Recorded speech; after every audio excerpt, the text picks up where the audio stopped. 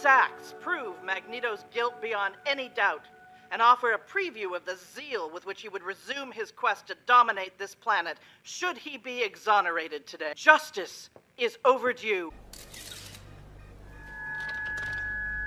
As a boy, my people's homes were burned to ash because we dared to call God by another name. Then, my people hunted me with those who had once hunted them.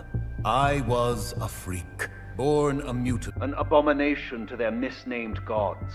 In history's sad song, there is a refrain believe differently, love differently, be of different sex or skin, and be punished. We sing this song to one another. The oppressed become oppressors.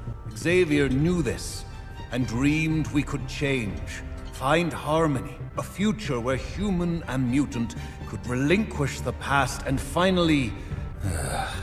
You claim justice is overdue, but so is healing. Your words, while kind, do nothing to heal those hurt by your crime. And your sound by indignation will not heal mutant wounds. You build robots who hunt us, collars to chain our power.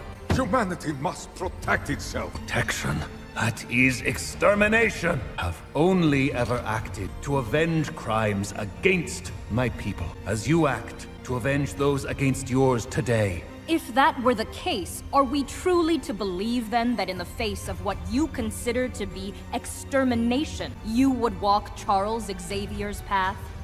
Not the worst thing that's don't go Magneto's way, don't you think?